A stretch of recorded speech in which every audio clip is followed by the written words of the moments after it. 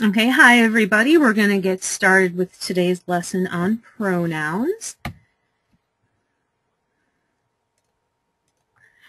And just before we get into everything, I just wanted to introduce myself. I'm Megan Lodge, one of the English instructors with Penn Foster High School. I've been with Penn Foster since 2006, and if you ever need to get a hold of me, you can reach me several different ways. You can call the school or email me by using the Contact Us button. But you can also reach me by looking for Penn Foster Megan on Facebook or Google+, or you can search for me by my full name on the Penn Foster community. If you haven't joined the community, I would really suggest that you do because it's a great place to interact with your other classmates and the faculty, and there's a lot of documents out there for help. And of course, I also have a Twitter, so you can follow me on Twitter. I'll follow you back, and I love having friends on all of those mediums. So before we get into the actual topic of pronouns, we want to cover why English is an important subject. Since it's since English is a subject where information builds on itself, it's important to have a good understanding of the basics, like parts of speech, to help with more challenging concepts you'll encounter down the road. So this is just a brief video that goes over the bigger picture of why English is important to know.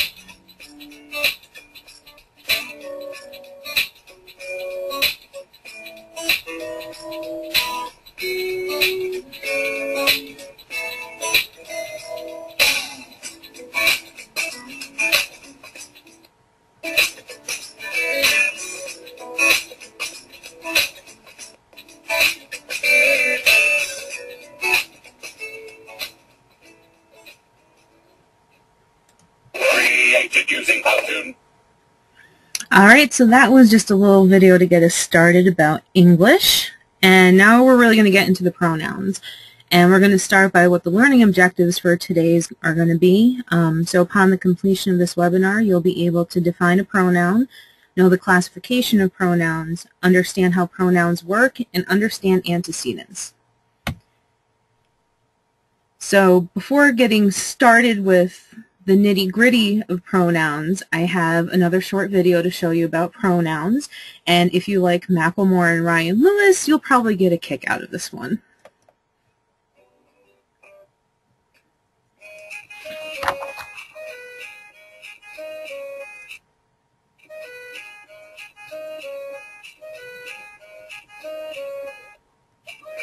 I'm looking for pronouns, because I know sentences often have them. I, I, I'm hunting, looking for some of them. I hope I can find some. First, we gotta see what's the function of a pronoun. Pretty much something I don't know much about. If I mess things up, I hope nobody sees me. My teacher says using pronouns is so easy. So I know it's like a noun, because noun is in the name, but it's different than a noun. Not exactly the same. It's a word that sneaks up, takes the place of a noun. Let me try and use some. I'ma start now. And I hope that it makes sense. My friend's shoes were blue. Yeah, they were blue. They was the pronoun that I just used. Just had 10 cents. Yeah, she had a dime. She is the pronoun I used that time. I'ma take your grandpa's chair. I'ma take... his chair. His is the pronoun I use right there. Things would be repetitive. Without pronouns, you gotta use different words to switch things around. I'm looking for pronouns, because I know sentences often have them. I, I, I'm hunting, looking for some of them. I hope I can find some. Now pronouns are easy. They're not so hard to see. Him, her, I, he, and she. You, us, this, those, that, and we. Now pronouns are easy. Yeah. They're not so hard to see. Uh-huh. Him, her, I, he, and she. You, us, this, those, that, and. Oh. I'm looking for pronouns, cause I know sentences often have them. I, I, I'm hunting, looking for some of them. I hope I can find some. I'm looking for pronouns, cause I know sentences often have them. I, I, I'm hunting, looking for, for some of them. I hope I can find some. I can make a song for you, if you want me to. Okay, so now anytime you hear the song, instead of thinking about thrift shops, you're going to be thinking about pronouns. Um, I'm a big fan of music, and I think it helps with remembering certain things. So that's why I include a lot of videos like this in the presentation. So now we're going to go on to a quick noun recap, um, because to understand pronouns, you have to understand what nouns are. So the basic definition of a noun is that it's a person, like a scientist, place, like a mall, thing like a flower, or it can be a quality or idea like love. So if that's what a noun is, what is a pronoun? Simply stated, pronouns take the place of nouns. So I have a couple examples up here, and we're going to start with Tina Fey first. Um, using pronouns can help make sentences easier to read. So if we have the sentence, since Tina Fey was on Saturday Night Live, Tina Fey has been very successful. It's not easy to read, and it doesn't really roll off the tongue very well. So to clean this one up, you, to add a pronoun, you would just simply say, since Tina Fey was on Saturday Night Live, she has been very successful. It makes it much easier to read and actually easier to hear, too. And next up we have Will Smith, which I feel bad for having to use this sentence since typically he's a good actor. But Will Smith just won a Razzie for the movie Will Smith was in with Will Smith's son. It just sounds clunky, another example of not rolling off the tongue easily. So we're going to clean it up with using pronouns. So we could say Will Smith just won a Razzie for the movie he was in with his son. And I made myself the last example here to show how pronouns, you're also going to be using them in the first person. So instead of me going around saying Megan's hair was blowing in the wind while Megan was taking a picture of Megan on a ferry, which is just weird referring to myself in third person like that. I would just say my hair was blowing in the wind while I was taking a picture of myself on a ferry. So now that we know what a pronoun is, we're going to go over the different classifications of them. It seems easy enough when you say a pronoun just replaces a noun, but when you see the way it's broken down here, there's actually six different category, categories of pronouns, and it's important to at least have a basic understanding of them so you know how they work within a sentence. So the first thing we're going to start with are personal pronouns. And first person personal pronouns indicate the speaker. So if the two women in this picture were talking, they may say something like, we love to walk our dogs. That would be in first person because they're the ones doing the talking.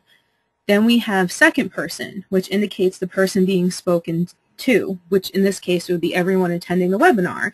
And I would say you need to understand pronouns. That would be talking in the second person. And lastly, we have third person, which indicates the person or thing being spoken about.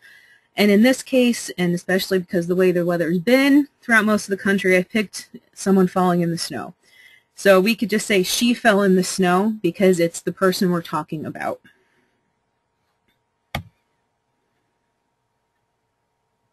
And next up, we have possessive pronouns. And I think this is one of the best examples to show what a possessive pronoun is. It's from the movie Finding Nemo.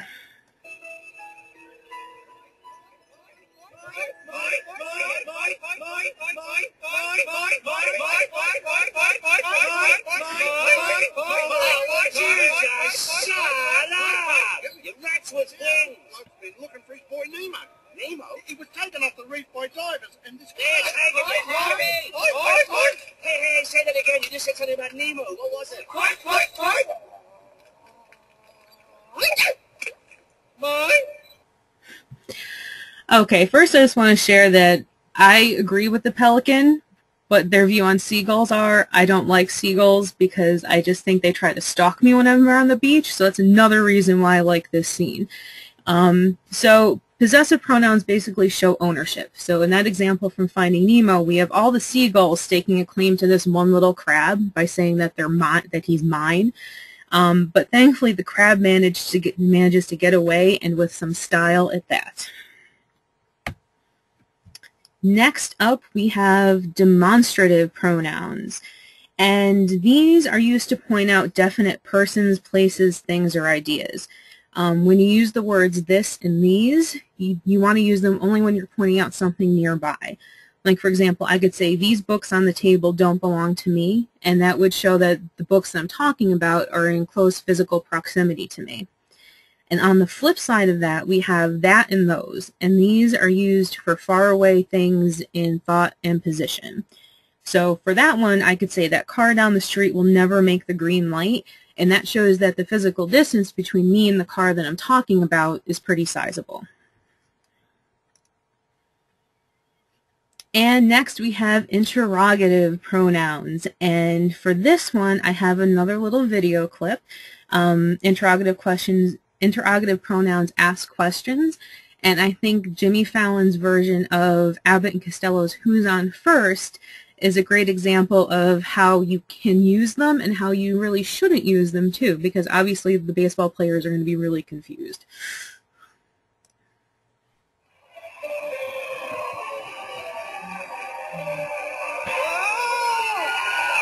I tell you, Jimmy, you know what I love, Jimmy? I love baseball. When we get to see you tell me the guys' names on the teams when I see them in the big St. Louis ballpark? I'll be able to know those fellas. All right, but you know, strange as it may seem, they give these ball players nowadays very peculiar names. Funny names. Nicknames, pet names. Now, on the St. Louis team, we have who's on first, what's on second, I don't know's on third. That's what I'm trying to find out.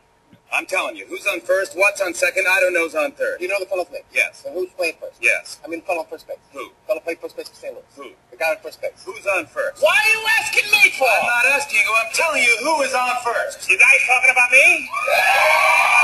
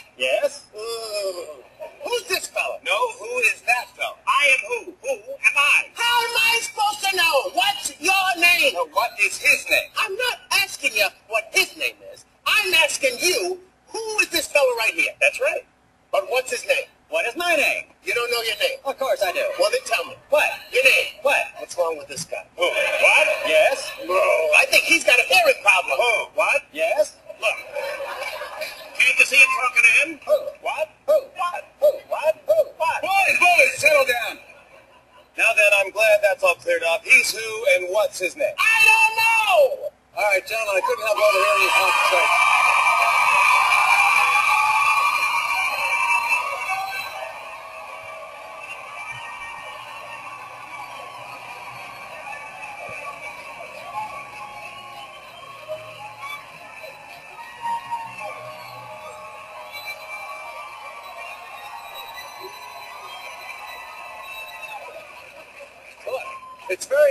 This fella's actual name is who, W-H-O, and this fella's actual given birth name is what? W-H-A-T. Well, that clears it up. Why didn't you just say that in the first place?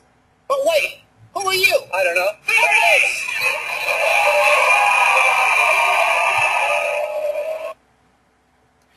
Okay, so I hope everyone got a laugh out of that one, and it goes to show that there are worse baby names out there than what we see some of the celebrities give today.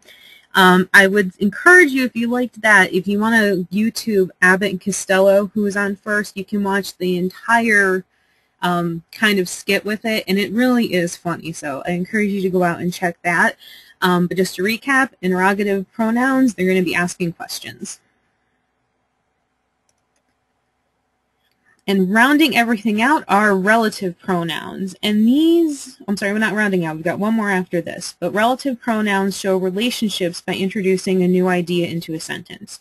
So if I have the sentence, my sister loves cookies, but I wanted to introduce something else about her into it, I can use a relative pronoun to do that. So I'm going to use the relative pronoun who, who, and we could have the sentence, my sister, who lives in New York, loves cookies.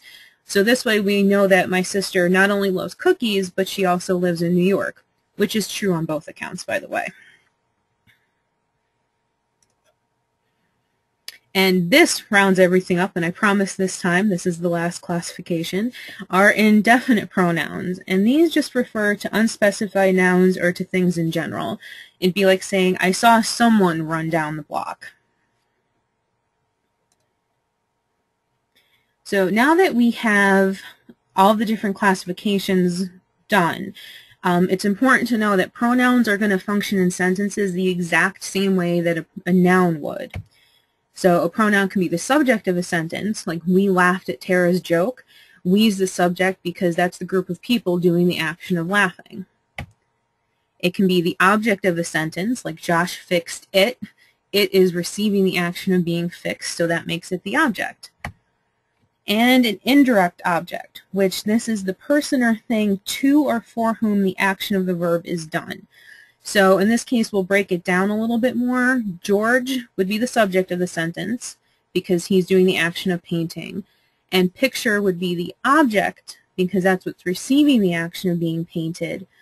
And that would make her the indirect object because that's who's, um, excuse me, that is who the, object, the action of the verb is being done. A little bit of a tongue twister there. Next up, a pronoun can be a subject complement. Um, and for example, we have here, it was she who called last night. And a subject complement is a word that completes a linking verb and describes or defines the subject.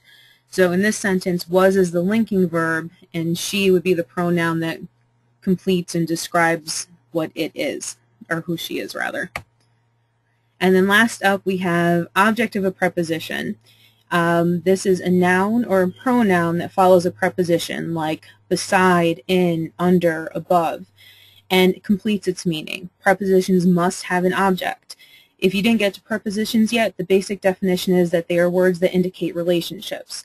So for this example, we have the wall crumbled behind him. Behind is the preposition, and him would be the object of the preposition to complete the meaning. One of the biggest debates that goes on when it comes to pronouns in English in general, it comes up a lot, is who versus whom. so I thought I'd touch on this a little bit. You want to use who when it's used as the subject. So we just learned that the subject of a sentence does the action. So that's when you want to use the word who. Whom is used as an object, so it receives the action, so you should only use it as the object of a sentence. And Grammar Girl, who I'm a big fan of, um, she's on the Quick and Dirty Tips site, um, along with a lot of other things. Um, but she gives a lot of everyday examples and tricks to help out when it comes to grammar issues. So I thought I'd use hers to help you out for when you should use who versus whom. And basically what she says is that when choosing between who or whom, ask if the answer to the question would be he or him. So the example that I have here is that who or whom drove you to the store, drove you to the movies rather. Um, if you can answer the question using he, you'd want to use who. So when you have that question, who or whom drove you to the movies, since you can answer he drove you to the movies, you'd want to use who. And if you can answer using him, you'd use the pronoun whom. So we have here, who or whom do you know? Since you can answer or ask again too, do you know him? You'd want to use whom. A good way of remembering this is that for the trick, him and whom that you'd use together, if they can replace each other, both end in an M. So you can't talk about pronouns without talking about antecedents as well. Um, pronouns should typically refer to a noun that came earlier. And this person, place, thing, or idea that the pronoun replaces is called the antecedent. And it should agree with it, the antecedent in number and gender. So if you're talking about Tina Fey, like we did in that sentence earlier, and you say he instead of she, that wouldn't be correct because it wouldn't agree, wouldn't agree because Tina Fey's female. And clarity is important in the antecedent and pronoun relationship, and in the next slide we're going to see why. And we're going to give some examples here. We're back to Tina Fey. I'm a big Tina Fey fan, so, you know, third time she's come up today. So in the sentence that we used earlier, we have, since Tina Fey was on Saturday Night Live, she has been very successful. She's highlighted in red here since that's the pronoun, but the antecedent would be Tina Fey, since that's what the pronoun replaces. And here's poor Will Smith again in his Razzie. But here we have Will Smith just won a Razzie for the movie he was in with his son. The pronoun he and his are highlighted in red, and their antecedent would be Will Smith. And this brings us to why you need to be clear when you use antecedents and pronouns. If you have the sentence, Joan called Carol on her lunch break, that's unclear because we don't know who's on their lunch break. Is it Joan or is it Carol? So when you're writing and you come across something like this when you're proofreading, it's something to keep an eye out for. Just know that you do want to fix it. And you can fix it by completely rearranging the sentence to make the meaning clearer. So in this case, I changed it to, while Joan was on her lunch break, she called Carol. So it makes it clear that Joan was on the lunch break, on her lunch break, not Carol. So that wraps up that the lesson portion on pronouns. All right, so I think that's going to about wrap everything up. Thanks to everyone for attending and for the questions. So everyone enjoy the rest of your Friday afternoon and have a good weekend, everybody.